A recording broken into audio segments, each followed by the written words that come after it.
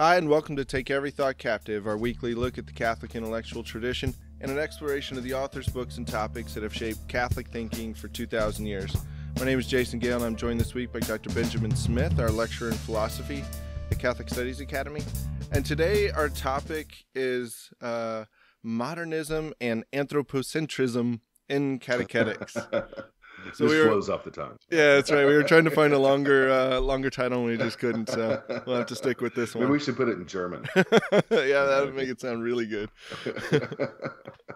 uh, all right. So our topic, like I said, we're gonna. What we want to do today is look at some of the errors of of modernism, some of the underlying philosophies of modernism, and kind of how it affected theology. And one of the the most important principles in um, asking the question, what happened to catechesis in the 20th century, which is a question that a lot of people ask, and I get asked a lot, uh, uh, is to, to begin with that basic premise that what happens in philosophy affects theology, what happens in theology sure. affects liturgy, affects catechetics, uh, and affects so many other things uh, with regards to that. Uh, mm-hmm. Uh, and so modernism is a great place to begin when you're talking about anything sure. in the 20th century because of how um, kind of widespread it was, but also because of, of its very nature. That you know that it, um, Pius X you know called it uh, a synthesis of all heresies. So it wasn't just a particular yeah. heresy; that it was uh, kind of this uh, perfect storm of heresies. And so. Um, uh, let's begin there, Dr. Smith. Uh, maybe we can begin with maybe looking at some. Of what are some of the the influential philosophies that uh, that either supported or, or led to uh, some of the theological errors later on in, in modernism? Sure, Jason. Uh, the the most important, uh, of course, would be, as I often say, Kant. uh, Immanuel Kant, uh, German philosopher, sometimes called the Sage of Königsberg. Um, but before I, I, talk about him, I just want to point out something you just said. This I think is really important. Um, you know, philosophy always affects theology, and then theology flows downhill into uh, the various ministries, uh, the various um, um, you know aspects of church life. This is why it's so important to know at least a little philosophy, right? Because if you don't know any, then you got one. You just don't realize it. Right? yeah, you're gonna have philosophy, and if you're not at least thinking a little bit philosophically, then you're gonna end up uh, adopting a philosophy and interpreting your theology in view of that philosophy without ever realizing it, right? right? Which is, I think, one of the things that's important about what we're doing with Catholic Studies Academy, right? Is that we're showing the connection between philosophy uh, and theology. Yeah. Um, but to your uh, your direct question there, I think the most important person in the development, oddly enough, I would say the most important person in the development of modern theology. So we'll say theology in the 19th century and the 20th century mm-hmm. would be Immanuel Kant. Now, Immanuel Kant is not a 19th century figure, but his moves kind of set up what happened in 19th century German philosophy, mm-hmm. which, if you know anything about the development of theology, really kind of what's called liberal Protestant theology in Germany, right? So right. it's a specific uh, historical period when you use it in that way, right? Mm-hmm. Um, it flows from Immanuel Kant. Um, if anybody's heard uh, any of our earlier uh, podcasts where we talked about Immanuel Kant, they'll know some. They should know some basic ideas. The the the kind of foundational idea for Kant, right, is this division between the phenomena and the noumena, mm-hmm. and that is the idea that the human person has preset categories through which data is interpreted. And that means that our experience is both intelligible, we can understand it, because it's sort of our mind makes it to where it can be understood, right? Mm-hmm. But it also means that we never understand the thing in itself, right. reality in itself. This is why Kantianism is called uh, critical idealism. That is, what we understand is not the mind reflecting reality, but rather the mind shaping reality into a subjective experience.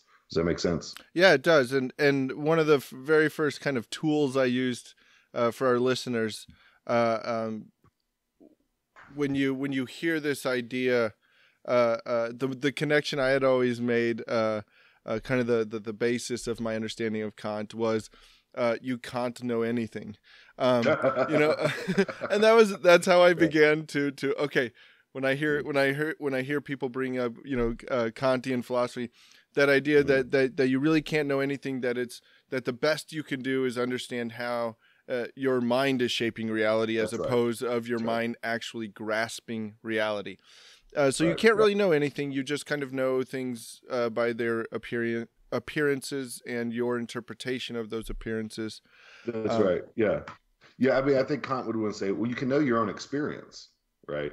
Um, but that's it. Yeah. You know, like you don't know the thing in itself. And that's the key point. Um, now, I'm, we're, I'm being very broad here with Kant. Sure. Uh, he's not a, a, a radically subjective individualist. He thinks inconsistently, he thinks all human beings have the same set of preset categories. And so he thinks we all have a similar experience. Later, modern philosophers are going to push on that, right? Right, right. And end up pushing towards, you know, it's just very, it's historically situated. And that's where you get really um, 19th century German mm-hmm. uh, liberal Protestantism, right? Which, of course, many Protestants also rejected, um, but uh, was a, a, theological movement that was very powerful, uh, certainly among the Protestant churches and communities, but then also kind of bled over into um, uh, the Catholic uh, uh, Church.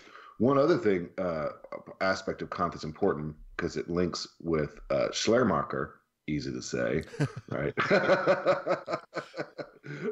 uh, um, but anyways, what a what a name, right? That's but anyways, um, another aspect of Kant that was important was this division between um, the practical and the theoretical. Mm-hmm. So, what we might call the practical and the descriptive or the explanatory. So, on the one hand, Kant thought, well, we have our minds that that think about the way things are, that try to describe experience. But then there's another part of our mind which is uh, has to do with um, making our making decisions, planning the future, judging whether something should or should not be done, that kind of thing. Mm-hmm. Now that's a, a fairly common distinction, except that he really separates the two. He says the two have nothing to do with each other. Mm. So on the one hand, you got the theoretical and the descriptive, but what you describe in being has nothing to do with um, the kinds of practical judgments you make. Um, and so that's a real hard division, right, yeah. between the two. And Schleiermacher, who's a later 19th century, uh, well, mid mid 19th century uh, thinker, it's kind of a romantic in a way.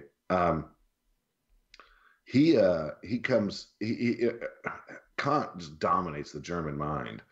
Everything after Kant really is just after Kant. So Schleiermacher doesn't agree with Kant altogether, but he kind of starts with his philosophical presuppositions. And so he starts with this idea of this division between uh, experience on the one hand, the theoretical and the, uh, and the practical, right? Mm-hmm. Um, so, anyways, uh, he says, well, what's the bridge in between? And he says, well, uh, it's religious experience. It's religious experience that bridges the two, right? Uh, it's almost kind of like a leap between, right? um, the two. Uh, and so religious experience becomes the thing where the practical and the theoretical meet, but it is very importantly indescribable. Um, so uh, when you have a it's quite convenient. That seems almost really like is, convenient right? to yeah. your own this tendencies. A, yeah, this is um, it's something that's interior. Yeah, it's a feeling of this is really interesting because it's a there's there's a kernel of truth to it. It's a feeling of dependence upon God. Mm-hmm. And then he abstracts even a feeling of dependence upon the whole. Uh, that is, that I'm a part of a macro whole or universe upon which I'm radically dependent. And that feeling, when we have it, those moments, right, we have that feeling, that's the the core of religion, mm-hmm. where the, the the gap between the phenomenal and the noumenal, the practical and the theoretical are overcome in a moment of of this sort of interior feeling of dependence. But that feeling, that is the truth of religion. Everything uh, after that, right, is um, at best, I think you would say the uh, the furniture in the chapel, right? it's it like so dogmas. I mean, he's he's very clear. Yeah, Theologians yeah. kill kill religion, right? Um, uh, because the words um, block and distort um, the original experience. Does that sound almost kind of scarily familiar? yeah, it does, and it, it also, you know, to to me, it also points to almost a utilitarian view of religion that it's only good insofar as it makes you do your moral duty. You know, it make it's it's well, that's it, certainly that would certainly have been Kant's view. Actually, that's not Schleiermacher's view. Schleiermacher thought because Kant turned religion simply into morality. He said yeah. religion is morality particularly Kantian ethics. So Christianity is good because it's similar to Kantian ethics, basically. um, but uh, Schleiermacher wanted to say, no, even morality is second to mm. this internal experience that you have. Um, so it's just an important qualification, but that's certainly in the mix. Now, how does this? Now, how does this flow into theology? How did this? Maybe mm-hmm. uh, uh, affect some of that uh, early 20th century uh, uh, theology? Well, really, it had its biggest impact in, in late 19th century theology. Um, but the um, the in, among the German Protestant theologians, and this would have kind of flowed over into uh, is Alfred Loisy? Is that yeah, how you say his name? We see yeah. George Tyrrell, yeah, yeah, the the Catholic modernist. Um, but the idea really is that you know and what we get in sacred scripture mm-hmm. is a kind of original experience of Jesus, the or the religious experience of the Israelites, mm-hmm, right? Mm-hmm. And um, everything that flows after that, even really kind of in scripture, right, is a mere recording of a ir- ir- unrepeatable uh, experience of that the community. Israelites or the apostles or that community. So you might say, look, this is an important witness, that like that kind of language. Yeah. This is an important sign. Um, uh, it's an important memory, right, yeah. of of what happened, right? Um, but it's not a revelation of God in Himself, like that. So what we're getting in sacred Scripture is not Jesus in Himself, not God in Himself. Um, uh, same be with certainly with sacred tradition. Um, what we're getting really is a, a particular, a historically situated experience, religious experience that's expressed in certain dogmas, expressed in certain practices, but doesn't get to the thing in itself. Um, and so, what ha- what's happening there is you think as you think about it, then he's like, oh well, okay, experience changes, historical circumstances change, communities um, change, yeah community change, right? Uh, and so what you end up doing is you end up sort of instead of God being the standard for theology, human experience and the experience of the community becomes the standard for theology. And so theology becomes simply an expression not of God's self revelation, right? Mm-hmm. But rather, theology becomes an expression of the community as it's historically situated. And for our listeners, remember that thought. We're going to come back to that thought because it comes up again uh, in the 1980s, uh, mm-hmm. in in a very in a very scary way. Um, but that idea of that uh, that scripture is yes, it's inspired, and we can go through that, but it's but it's primarily that religious experience of the community of G, you know, mm. uh, with with God. Uh, uh, that becomes a very central uh, focus for a lot of theologians and practitioners, catechists, uh, later on um, in the 1970s and 80s.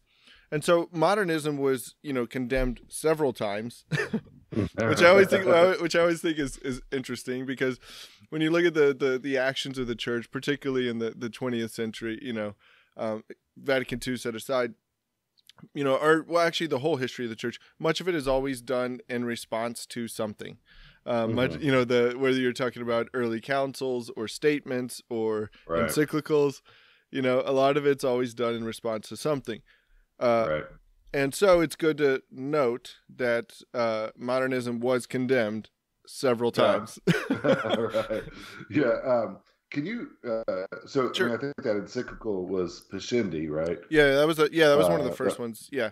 And then Lamentabile is that the the the the syllabus of errors that goes with that one? Yeah, or Lamentabile was was first in 1907. Okay. Uh, okay. was in 1910, and then 1910 was also when uh, Pius X issued the oath against modernism. So it's so it's one of those things. Not only did he condemn it, but he's like, you need to take an explicit oath against it. Jason, you know, I've got an idea for reform. uh, how do we fix it? Maybe maybe one thing we could do is just bring back the oath. I right, think we could just start like a, a movement, bring back the oath, right? You know, like, Build the oath. That's right. That's right. That's right. Like, I want everybody to sign the oath, and if you don't sign the oath, you're out. That's it. Like you got is it two options: sign the oath or go. what do you think? I like it's a good. I mean, it's a it's a good place to begin. I mean, it's a good. Uh, and, and so I mean, like I, I think for our listeners, if you want to get a, a good uh, a good idea more of some of the because uh, when Pius X uh, condemned it, he condemned it in 67 propositions. So it wasn't like he was, and, and, and which, which I think is interesting because modernism, A, it's uh, like you said, a synthesis of all heresy. So it's very difficult to like nail down into a proper definition. Uh, but it has a, a, whole lot of things uh, uh sure. that, that it brings into in different ways and different flavors yeah. of modernism uh, um, uh, can highlight or, or emphasize uh, different aspects.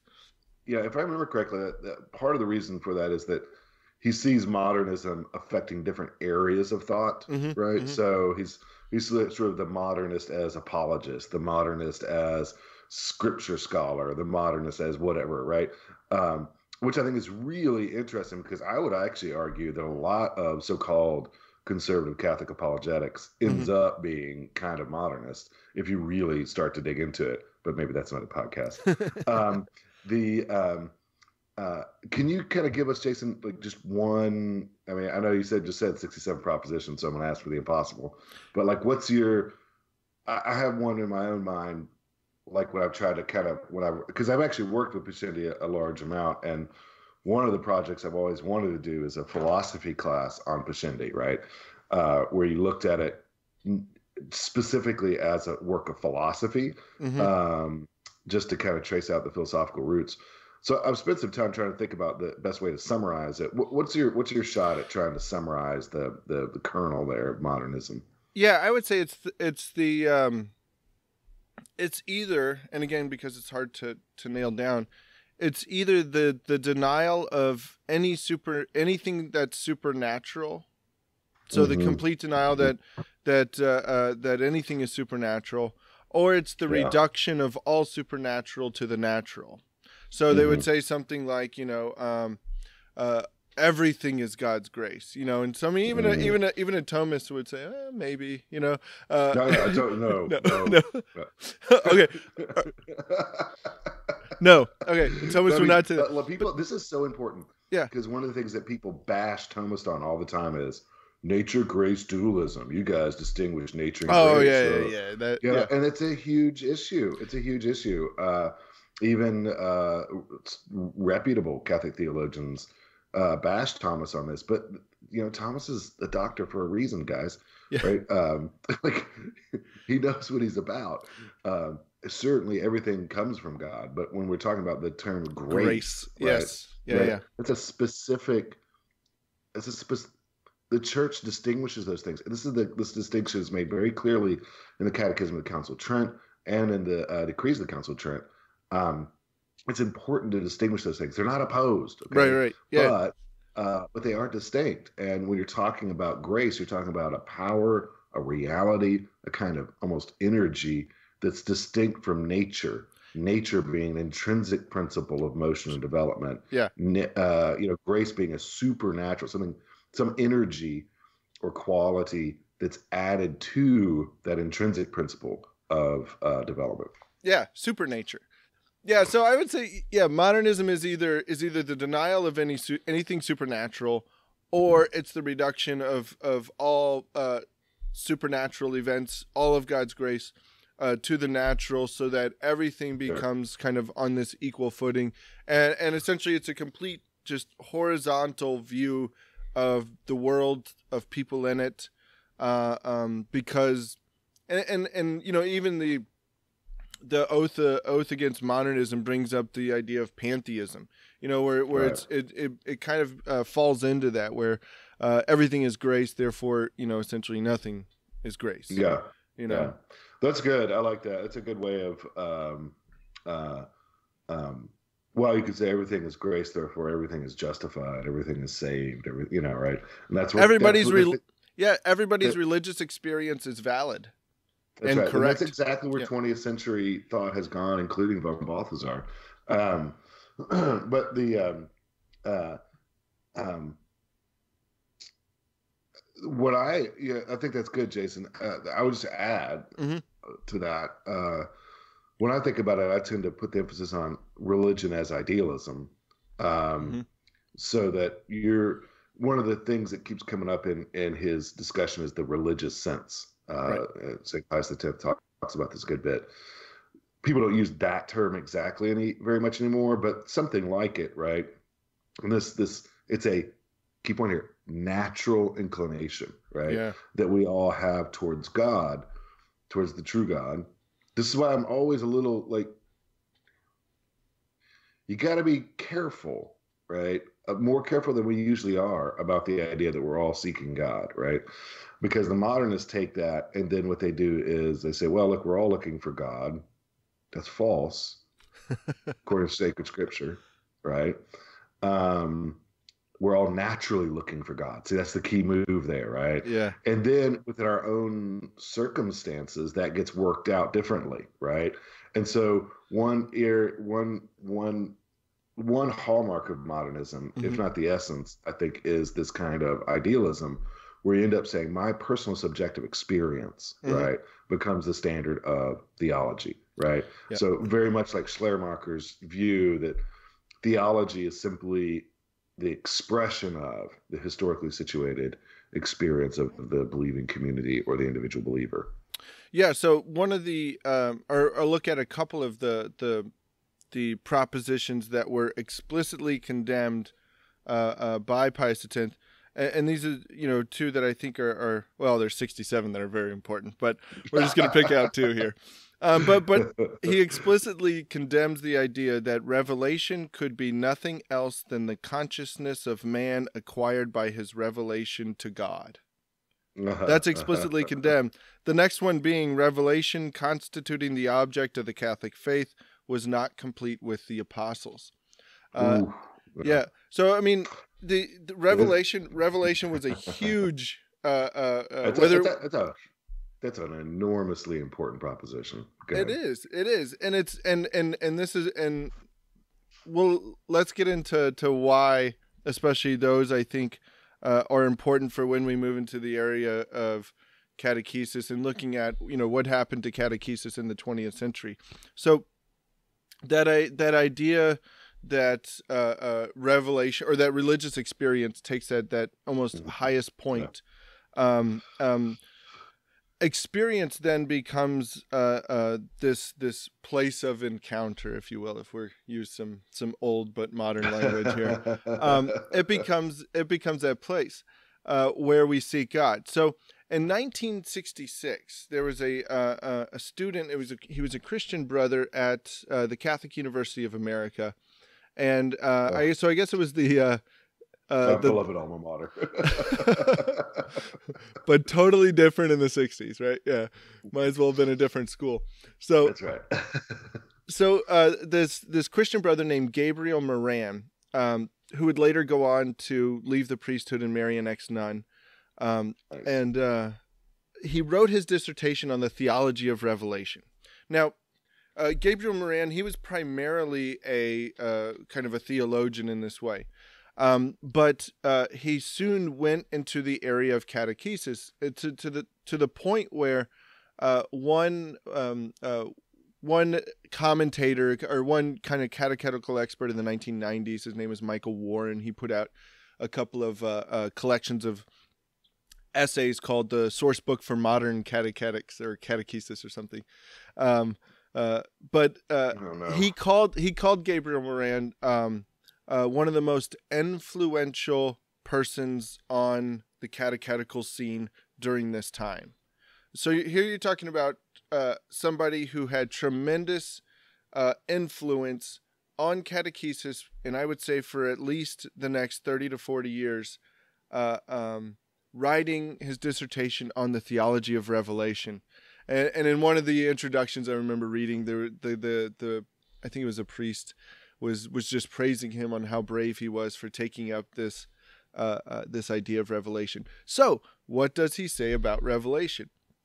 Mm. He's, he, Yeah. he states, revelation is, quote, a universal phenomenon present in the life of every individual and all religions. Right, right. Yeah. So uh, he goes on and he'll say revelation is not the deposit of faith as the church teaches. yeah. Now, That let's go Like, that's a, that sounds like heresy. I mean, Yeah, now maybe, let's- right. let's take a quick trip back to what was just condemned. You know, the, so you have so so in during this time you have uh um this a you have the the occasion of Vatican II. I'm not going to blame the problems of catechetics on Vatican II or say that it was the cause, but people did take it as the occasion to experiment with a lot of things. And we know that I mean the most obvious examples are the liturgy. Um but that wasn't the only place. Um and so you had uh, uh people taking up th- these ideas and putting them into practice. Now, I will say, and I've said this before, like I'm cool with speculative theology. Like I, I'm, I'm okay with that. Like I understand uh, people wanting to work things out and and think about things in a kind of a public view.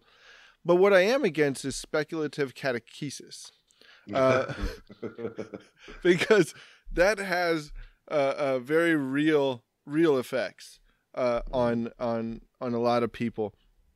And so uh, Gabriel Moran was a huge figure with his idea of revelation, and particularly uh, his idea that revelation primarily happens between the person and God. Hmm. This is the place for revelation. Um, and uh, and he literally states he says quote there is no revelation except in god revealing himself to personal experience yeah, You know- that's a, it's so important. And go ahead. well i was going to say and, and you know for for some of us it may you you may say well that doesn't sound so bad because i've had those aha moments where i feel that that that god's grace has has uh you know enlightened my mind uh, to some, you know, has, you know, we can call that maybe a kind of revelation, or we we may even uh, call it that. You know, I, it was revealed to me. You know, now that's a big difference between saying like I understood something then there is no uh, revelation outside of my experience with God. Like that's Yeah. that's huge. Yeah, it is. Um, two things here. One is, well, you're quite right regarding speculative theology, the difference between speculative theology and catechesis. Um, there are bounds within speculative theology as well. Right. We push those bounds, maybe, um, but you know, that's just that just is heretical, given what you just quoted, right? I mean, like there is a deposit of faith. To say that there is not a deposit of faith, an objective body of knowledge, Yeah. right? Uh, that's been handed on in the church and commented on the church, and you know, further con- consequences and thoughts have been drawn from it, right? Mhm. Um, uh, people don't like the deposit word, right? Yeah. Um, uh, but it's there, and you can't get rid of it. Sorry, right? Yep. But what's what's uh, what's philosophically and theoretically important about this is that there is objective propositional content, right? hmm Uh, I remember one time being in a conversation with uh, a fella. I was a nice guy. I was at an academic conference, and we had a good good conversation. We kept kind of clashing or missing each other in a nice, you know, kind of friendly academic way. But after a while, I finally got to what what I was sort of we were in the conversation trying to figure out like what was our different, what, what was the underlying different assumption, uh, and I thought what it really was, and we get this came up came out in the conversation was I think propositions matter, and he didn't, right? And and then you thought, well, why do propositions matter? Like it's just words, right? Just stupid words, Social constructs. right? Yeah, right. My sociology professor said that that's just you know whatever. All right, uh, but why do why do propositions matter? Because propositions signify reality. Yeah. So the the point being that there is a given reality that has revealed itself, right, to man in a definitive way, and to ignore that body of knowledge is to ignore that reality. Right. Do you see what I'm saying? Yeah. You know, so that's the key, right? Is that my subjective experience can be all over the map. Sometimes it's good, sometimes it's bad, it's whatever.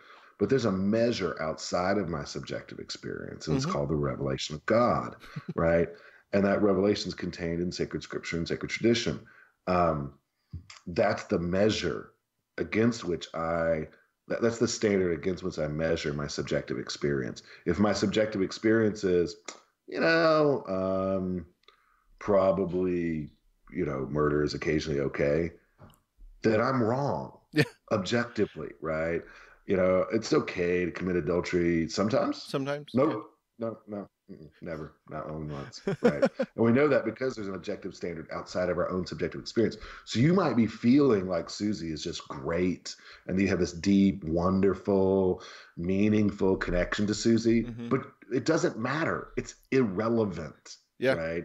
Because there's an objective standard outside of you, namely revelation.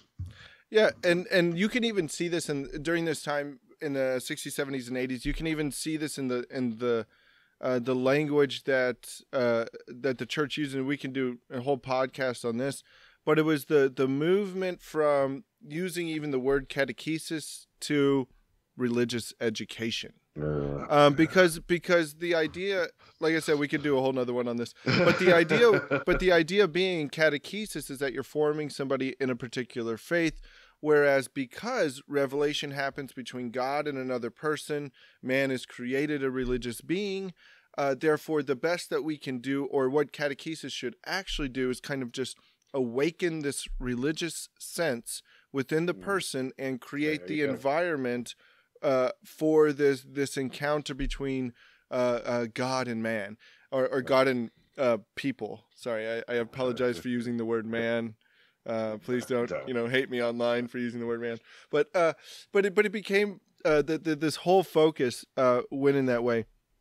And yeah, again, yeah, very, yeah, it's very anthropocentric. Yeah. yeah, and again, yeah, this is what this is kind of the highlight of what kind of this this uh, anthropocentric turn uh, took, um, almost to the point where you know later on in the 1980s there was a guy named Thomas Groome uh, who developed a methodology called shared Christian praxis, which uh, began with uh, um, yeah, great words. Uh, I just sorry. That's just this is Marxist terminology, right? Like, Yeah, well, and- like that that that language grows out of uh, Marxism. I mean, just as a historical point, it just does. Sorry, good. Yeah, and and the the, the I guess the, the the nice thing, like if you if for the for our listeners out there, if you want to go read about these things, the nice thing is that these people, uh, many of these these authors and these writers, uh, the, they're not necessarily ashamed or they try to hide these. Uh, Thomas in, in Thomas Groome's book, he he he thanks Paulo Freire, a Marxist philosopher, uh, who wrote a book called Pedagogy of the Oppressed. uh, right. and- and he-. So yeah, right around the time, like in between thanking Thomas and uh, Kant, and I think Hegel, uh, he thanks uh, Paulo Freire in there. Um, but Uh-huh. but but he but he says, you know, in, at the very beginning of his his methodology, he says there needs to be a focusing activity which turns people into their own being, in their place and in their time, and this establishes a focus for the curriculum. So the Mm. curriculum literally is you. Like I don't know how how more anthropocentric could you get than literally saying not only are we going to focus on me, but I'm Right. going to be the curriculum. yeah concretely how does the i mean uh, there's just so much to say here uh, uh, and uh, yes the, like the catholic church is crumbling right in a lot of ways sadly statistically um and you're like well of course it is right and Yeah. and and you know if that's our catechesis well no wonder people would leave right Yeah. you know like me, mm, I, am the subject matter of religion, right? Well, you know what? You're a you know you're a fallen human being, right? yeah. you know, and and then if if you think if your thoughts about God are based on yourself, then you're going to have false and erroneous thoughts about God, and false and erroneous thoughts about God that lead you to leave the Catholic Church, right? Uh, uh you know what I'm saying? It makes sense, right? Yeah. Because you know uh, that you because of the way humans are without grace, um, we're going to have a tendency away from Catholic truth, right? Away from Christian truth, because um, uh, of our fallen nature. And if that's your study, if that's what you're learning, mm-hmm. right, as Christianity, you're. I mean, this is so perverse. Your learning of Christianity is going to lead you to not be Christian. Yeah. That's right? yeah, that's a and and and, and, and you know, again, ever since I've read the Screwtape Letters, I always think if I were if I were the devil, what would I do? I mean, I wouldn't say you know God doesn't exist. I would just say you know well, God doesn't really love you. You know, how about I create a version of what they think is Christianity, but is not. Like right, that's right, in, in a way that's that's brilliantly evil. Well, um, nobody today. Oh yeah, but let me, I mean, nobody's gonna say today God doesn't love you. That's not. Everybody's gonna say God loves you. God is love. God loves you. Yeah. God loves you so much that He loves your adultery. right? God loves you so much that yeah. He's not going to deny you sodomy. Right. Right. Wait, like it's it, that's the real move there. Right. Yeah. Is that you're gonna um uh, and the and the devil is not a personal that. reality. Yeah, yeah, exactly right. You're going to replace the God of the Bible and the God of right reason with some sort of lovable fuzzball um, that just affirms, right? Right. Your experience. That's yes, that's a key, right? It affirms my experience. So look, I gotta divorce my wife because I'm really into Susie, right? And you know, God blesses that, right? I mean, He loves me. God is love, so yeah. he, he loves that, right? He wants me to be happy. he wants me to right. be happy. yeah, yeah. That's right. It's too bad for my wife, but you know, Susie and me, you know, come on. My subjective experience is the revelation of God's will about that, right? Yeah, and, that's but anyways. And that's exactly how the the Groome's methodology was. So we we do this we do this activity where we where we uh, think about our own experience. Right. We critic critically. He does use that word. Cri- we critically reflect on our own experience, and then what's we, the criteria for that criticality? Uh, your feelings. so then what we do this is serious all right so then what we do is we take that that that experience that we've critically reflected on and we put it in a conversation now we yeah. put it in dialogue with what he calls yeah. the christian story and, and he even goes so far as to say my methodology can work for any religion um, sure. but i'm christian so it's going to be in a christian context so we're going to put it in um, in uh, in dialogue yeah. with um, um, the the Christian story in dialogue with my experience. Now, now uh-huh. again, that may sound, you know, like ambiguous at best, but if it's based on uh, a Marxist philosophy, it's not a nice, pleasant conversation. I mean, it's it's one of them is fighting to win, one of them is right, oppressed, right. one of them is the oppressor. And so you, yeah. you put them in conversation and then you come up with a solution, a, a resolution to, to change your life and to, and to live better after that. Right. Now, yeah. and, and, and again, you know, that's how, that's how his methodology works out. But, but again, I want to go back to what we had said about modernism, because when he mm-hmm. says we bring in the Christian story to talk about our, uh, to put it in dialogue with our mm-hmm. experience, that doesn't sound so bad. It sounds like I'm taking my Catholic faith and I'm using it as the standard to which I'm judging my experience. That is not the case. Because no. here's here's what he says about the Christian story. He says retrieval of the Christian story is guided by any consensus understanding articulated by the community's magisterium. Oh. Uh, yeah. Um, That's a bad and of course he ends it retrieval like a, a group idealism. Yeah, yeah, yeah. And he says retrieval is informed by the sense of the faithful about what is true. Uh, you know, and so and so again, it goes back to not just the not not not even like an individualistic perspective, but but the idea that the community's experience is mm-hmm. is kind of uh, is part of that revelation. So I mean, Sure, even when you think sure. about what the what the modernists were saying about sacred scripture, uh, Mm-hmm. that you know that was the that was the Israelites' experience of God. That was the the apostles' experience of God. right, Um, right, And right. so Revelation doesn't end there. It continues after that yes, in right. each community as we progress through uh, through history. Um, yeah, yeah, that's good, Jason, to bring that out. And uh, I, th- I hope our listeners see the sort of strong connection here. A- It takes sometimes ideas a long time to develop yeah, their full fruits, right?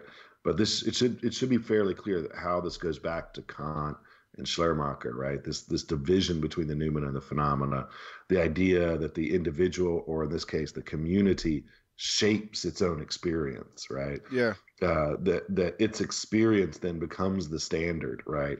Uh, for talking about reality, that's a long story, right? I mean, it's a long It narrative historically to go from Kant to to you know mid twentieth century catechesis, but the line is there.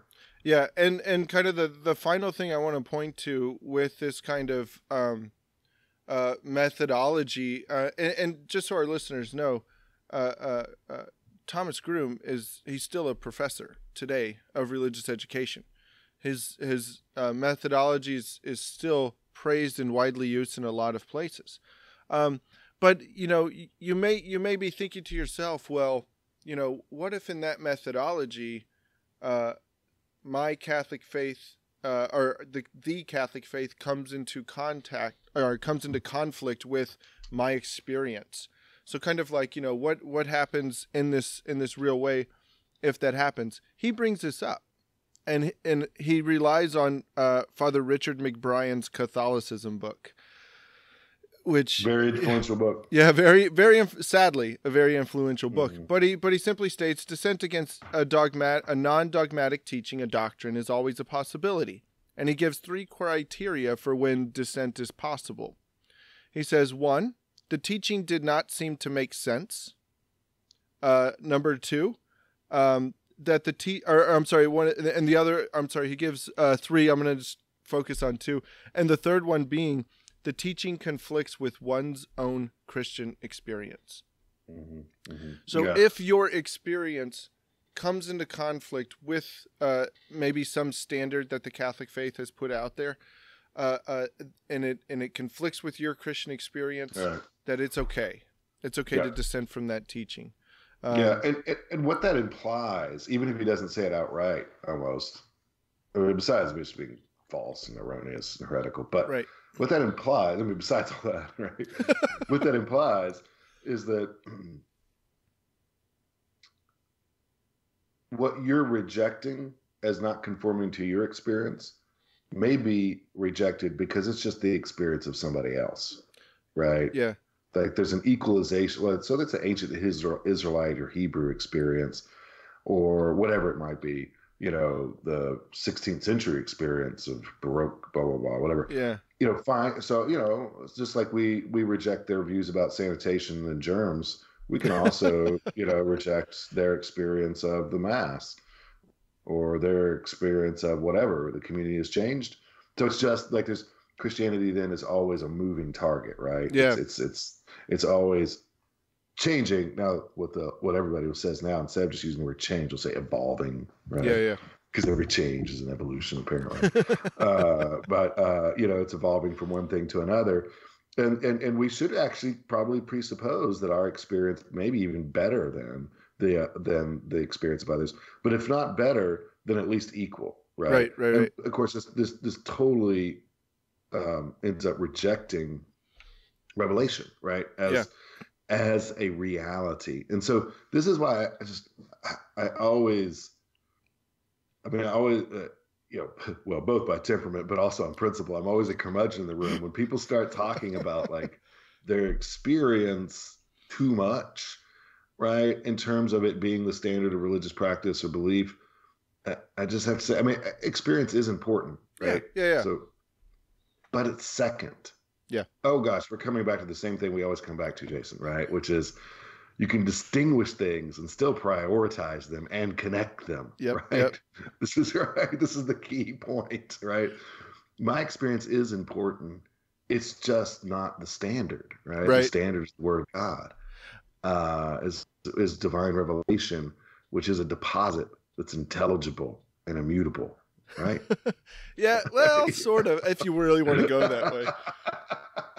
But but like but like one of the things you you heard you commonly heard in like the 80s and 90s was and this and, and again you, you also have to think about the time you had the explosion of the social sciences uh uh, uh psychology was was taking over many uh, are, are influencing many fields of theology and and uh, uh, manipulating it in, in a lot of different ways.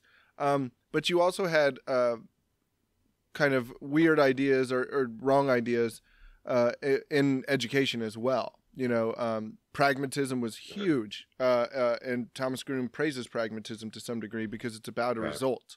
That's the important yeah. thing. You know, still huge education. Yeah, yeah, it's but, yeah. it's still huge. And so you had, uh, I I remember I I had people tell this to me to my face. We were talking about like RCIA, and I was saying how you know the goal is is is to get to the end of the RCIA process to have people look at the articles of faith and say credo credo credo hmm. and they disagreed with me they said what's not the in so many words they said the product is not important it's the process as long as we've gone through the process uh, uh, whatever the product may be hmm. is as good as any other Mm-hmm. And, and, so mm-hmm. you, you you just see this this whole thing about process. It's all about the process. You know, so the Which content experience, yeah, it goes to experience, right? Having right. a certain kind of experience, right, is what catechesis is all about. But the church tells us that that's wrong, right? I mean, the church tells us that catechesis is um, organic and systematic instruction in Christian faith, Christian doctrine, right? Yeah. Um, doctrine, teaching, propositions, knowledge, right? Yeah, yeah. So it literally flips it on its head, where method becomes more important than content. Right. Uh, um, and, well, and that's that's modern education. Yeah, I mean, yeah, exactly. Know. I mean, and and people, I mean, like when you you see like you know things like Common Core math, people are like, what the, you know, and yeah. and they'll say things like, well, it's not important that they get the right answer; it's important that they go through the process. like, right. So here's the whoa. thing. So, so, yeah, I don't, I don't, I've gotten to where I don't even like the language of content. I, it's so ubiquitous that I have to use it, but.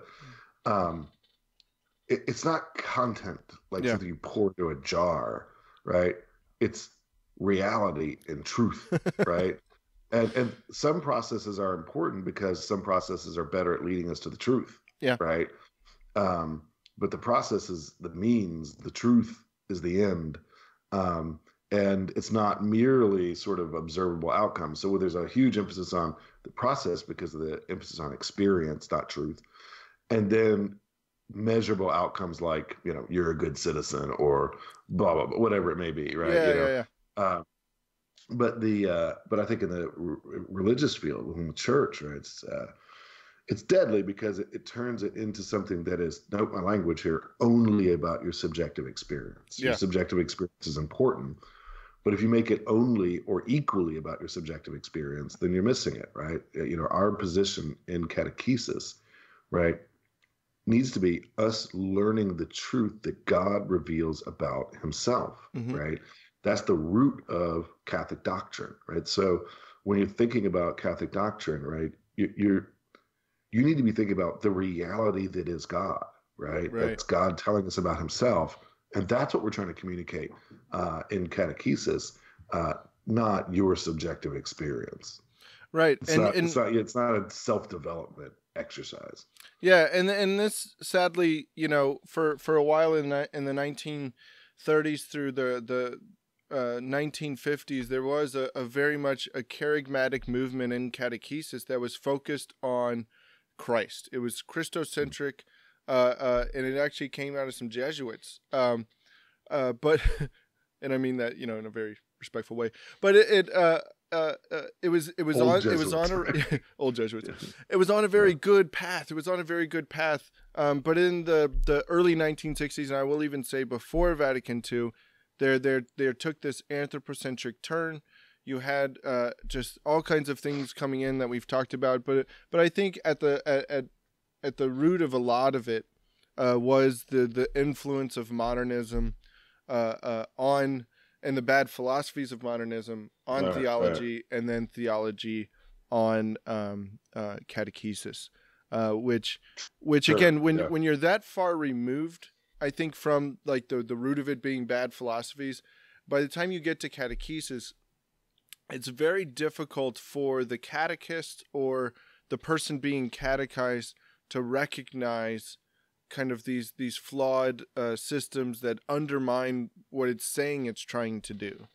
Uh, it, it's very it, it's and, and so I'm not I'm not you know while I while you know I do talk critically about these things I, I will be slow to to place blame on some of them except for Groome you know I'm okay with doing that because because Uh, the he theologians theologians have a responsibility. yeah yeah yeah Uh, and and uh, people who have graduate degrees in the these fields have a responsibility, right, to to know better, right, and to be careful, yeah. um, and to be wise And- and- uh, in their uh, their what they teach. and the thing is is during this time so Groome's book his methodology really came out in 1980 1983 Cardinal Ratzinger's giving an address and he literally this is I'm going to quote him because it's not like these things were hidden Cardinal Mhm. Ratzinger said this in 1983 so at this point he's the the the prefect for the Congregation of the Doctrine of the Faith uh, he says uh, the new tendency is to rank praxis over truth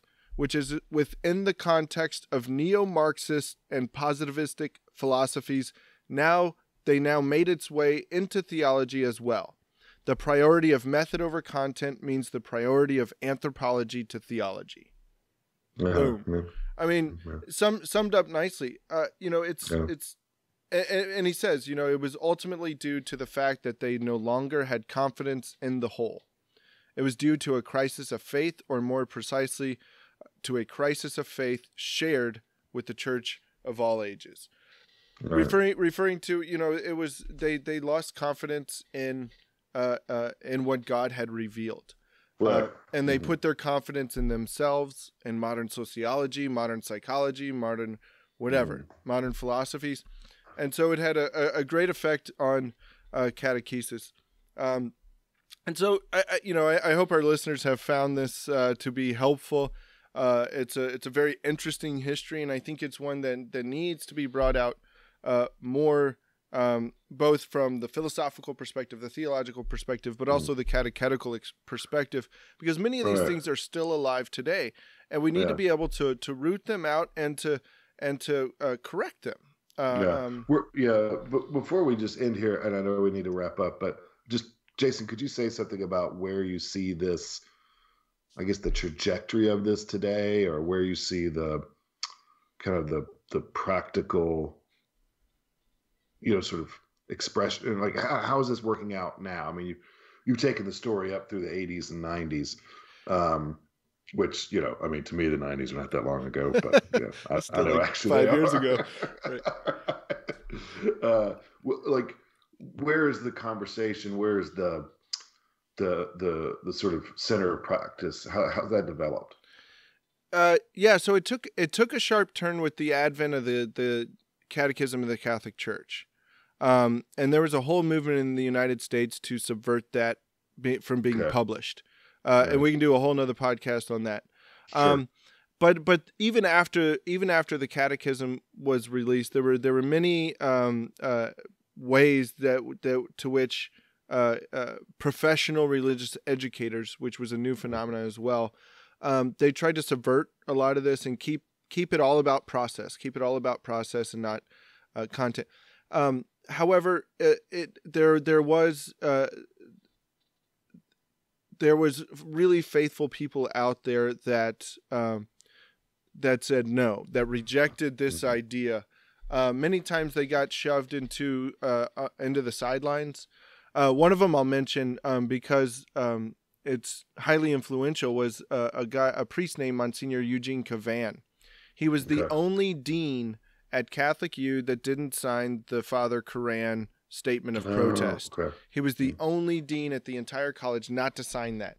He he uh, Mhm. effectively got booted out of Catholic U, and he went on to teach um, uh, uh, some good Dominican sisters, um, but also uh, help uh, teach some influential people. One of them being Um, the the the lady who she actually just passed away last week. Her name was Barbara Morgan, and she's the one that founded the uh, catechetical department at Franciscan University of Steubenville, which I know has gone through some troubles. But I will say, what they teach in in catechetics is formation in the documents and a faithful how to hand on the Catholic faith faithfully. Uh, and fidelity to, the, to the church because it's not about you it's not about your feelings it's about handing on what was what has been given to you. Um, So so I mean there there was this uh, um, you know and you had these other reactions. Thomas Groome was very also very influential in England and. Uh, there was a there was there's there's a book out there called a, a Generation Betrayed by Eamon Keane, who who talks about uh, um, uh, the, the the havoc that it wreaked in in England and and kind of the movement to come back uh, come back to a faithful catechesis. So there are a lot of things out there uh, that are there. I, I, I think the trajectory is is bright as these people pass away.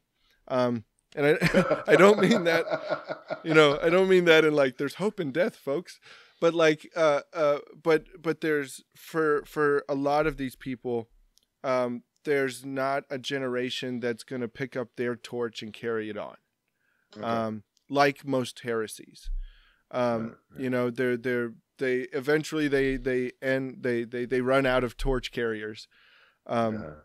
So you know, so I am I am hopeful in that, um, but that doesn't mean that something else isn't popping up or won't pop up. You know, um, so so there there are pockets out there, but I think you know again the the the biggest thing that we can do or you know in that catechist can do is to to understand the history but also you know take a little philosophy understand some of the the, the philosophical problems that underline modernism and uh, many of these other uh, wrong uh, positions in theology that are just uh, they're not even half half truths. I mean they're just mm. completely erroneous.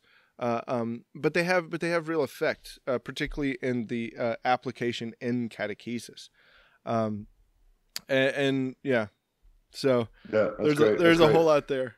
Yeah, that's, uh, that's good. Thanks for bringing it up to up to date. Uh, I would just uh, throw in here at the end uh, um, that uh, I, I, think a document that's really helpful, and I'm using a lot in my own uh, work presently, is Catechesi Tradendae mm-hmm. by John Paul II.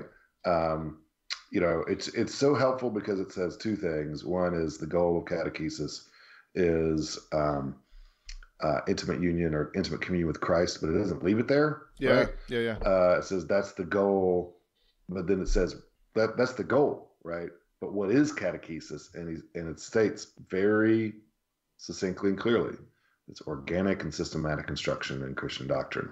Yeah. Um, and that's just that that you got to just hold people to that and say, look, that's what it is, right? And we can talk about lots of other things, but if you're not doing that, if that isn't your primary emphasis, then you are not doing catechesis. Yeah. And and I would add I would add to that that if you are doing that, you don't have the right to do that. Um, sure. Canon law even states that you know a baptized person has the right to a faithful uh, catechesis, and John Paul would add, with in all of its rigor and vigor. Uh, a good, good, a good, good, quote there from Catechesi Tradendae that it's not it's not something that we can piecemeal, but it's something that we have to give whole and entire uh, uh, right. to the person. So, with that, I want to thank our listeners uh, for joining us today. I hope you found our, our thoughts and comments uh, helpful uh, in understanding uh, some of these issues. in the meantime, check us out at CatholicStudiesAcademy.com. Until next time, God bless.